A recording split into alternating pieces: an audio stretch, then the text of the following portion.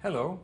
Today we're going to conduct an experiment to learn about how the economy works and neoliberalism. This is an easy experiment. You can do it at home or even for your high school science fair. This is all you need. Some wood for a frame, a bit of string, some plastic tubing, a balloon filled with water, a net, I made mine out of an onion bag, and a bicycle pump. That's all you need. But first, let's take a short aptitude test, just to make sure we're clear on the basic concepts. Okay, first we'll just do a warm-up. Which of the following words doesn't fit? Bunny, puppy, kitty, gerbil, or alligator? Time's up. Yes, you're right, alligator. All the rest of these words are cuddly pets, but alligators are not cuddly pets. Now for a harder one. Race, sex, sexual orientation, class, or disability. Time's up. That's right, class. Class is the one that's different. This triangle represents society. When we look at class, it looks something like this. Down here are the people who can't work or can't find jobs. They tend to be pretty poor. Here are the people with lousy jobs, low paying, probably boring. They may have to work at more than one job at a time to get by. These are jobs that probably don't have benefits or job security, or they even allow them to get unemployment insurance, in which case they would, if they lose their jobs, fall down here. Above are the people with decent jobs, jobs with benefits, security, pensions, probably more interesting and much better paid. And then at the very top, we have the people who own and run the corporations that most of these people work for. There are, of course, a few people, small farmers, small business people, who work for themselves, but generally, most of us work for the larger corporations.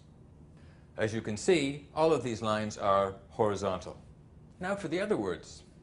Let's look at sex first, whether you're a man or a woman. If you look at our model of society, sex should look like this. Half of us are women, and half of us are men. Well, that's what it should be like, but in fact it doesn't because of discrimination against women. It actually looks more like this. Fewer women own those corporations or control them, and more women are in poverty, whereas men tend to dominate at the top. Okay, what about race? Race has to do with the color of your skin, your physical characteristics, even though sometimes the language you speak or where you come from or even your religion can get all mixed up in that. What does race look like in society? Well, it should look like this. All the different racial groups are found both at the bottom and the top of our social hierarchy. You see, just like in sex, the lines are mostly vertical. But unfortunately, just like in sex, it doesn't quite look this way. In fact, it's more like this.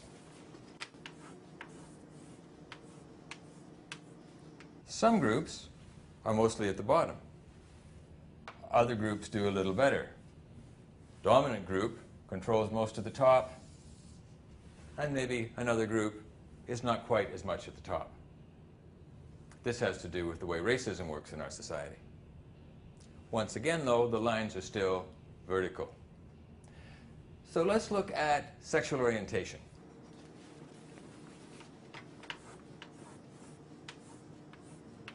Sexual orientation is whether you're gay or straight or bi or lesbian. Now, since gay people are born everywhere, it should look like this gay people and straight people.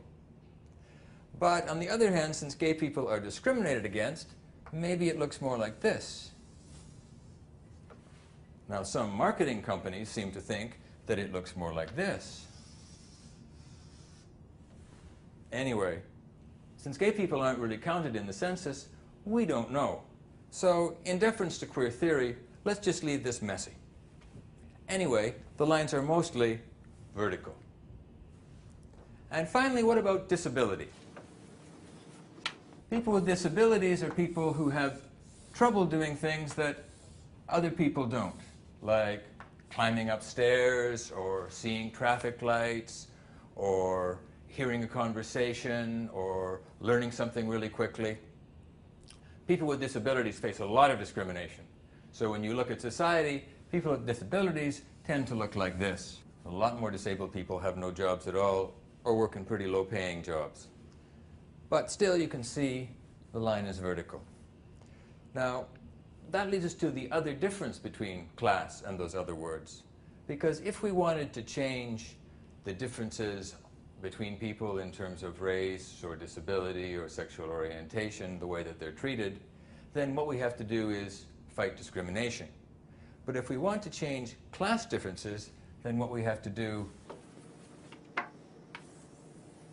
is change the shape of society so that some people are not a lot wealthier than others. With a shape like this, the differences between the top and the bottom are not nearly so great.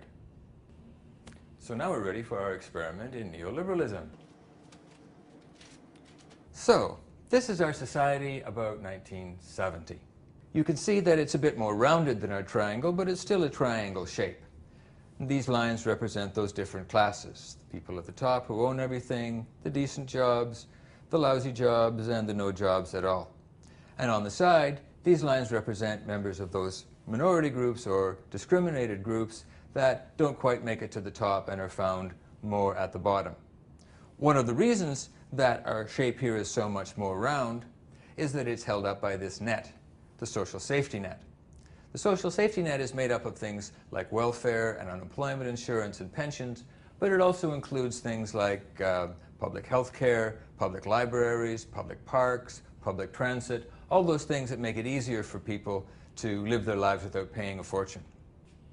The social safety net, as you can see, is supported by the state, and it's held up by, or paid for by, people's taxes. Taxes which come more or less from people who are a bit more wealthy in society. So what the state is doing is redistributing wealth from the more affluent members to the poorer members to make sure nobody falls below the poverty line. Since the social safety net keeps the bottom up, it keeps more people in the middle, and it gives us a structure that is generally pretty resilient. So that brings us to neoliberalism. Now, neoliberalism doesn't have anything to do with being liberal, uh, tolerant, friendly to your neighbors, getting more sex, anything like that. Neoliberalism is an economic philosophy. It basically says that government is way too big and it is interfering too much in the economy, and that we'd all be better off if government was smaller and just left things alone. So what they say should be done is that the taxes that the rich people were paying to maintain the social safety net should be reduced. And government should shrink. And it should give up trying to regulate the banks and the corporations and control trade and do any of those other kinds of things that government used to do. The neoliberal philosophers say, why should rich people be penalized for being rich? They should be rewarded why should they have to pay these taxes to support the social safety net and poor people? The rich people think this is a brilliant idea. Why should they have to pay these taxes? So they begin to give money to politicians who believe in neoliberal philosophy, and the first thing they do is to start major tax cuts. Since the same thing has happened in most other developed countries, everybody has to join in, because with neoliberal deregulation, if taxes are high in one place, corporations can simply pick up and move to someplace else. So, how is this going to affect our balloon? Well, as you can see, as these taxes are reduced, that rich people who don't have to pay so much taxes start to get richer and richer. They're moving up towards wealth.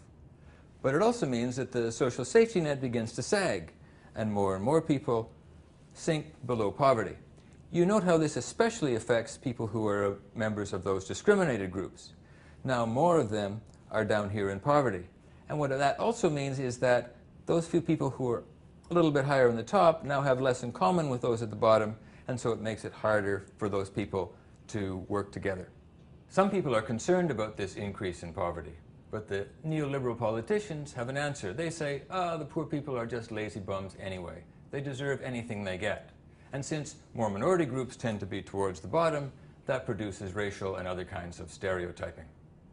It also begins to squeeze that so-called middle class, because even though they may pay a little less taxes, they now have to pay for services a whole lot more, things that used to be public but are now private. And as you can see, the distance between the top and the bottom is, is much greater than it ever was before.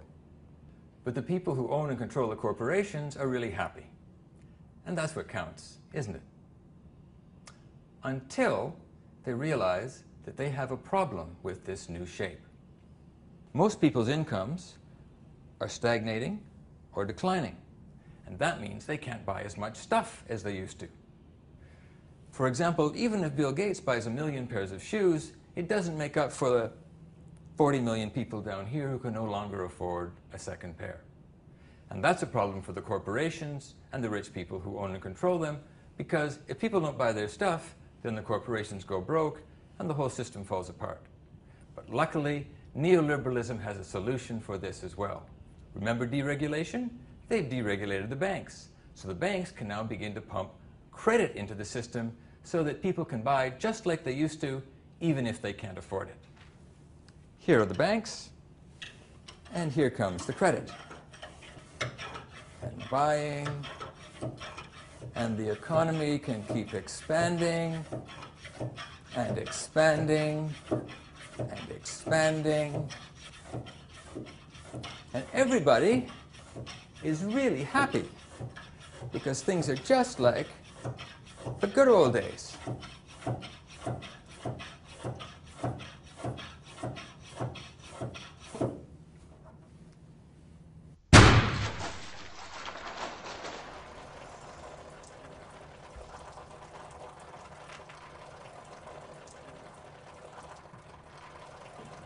Well, that's the end of today's experiment in neoliberalism.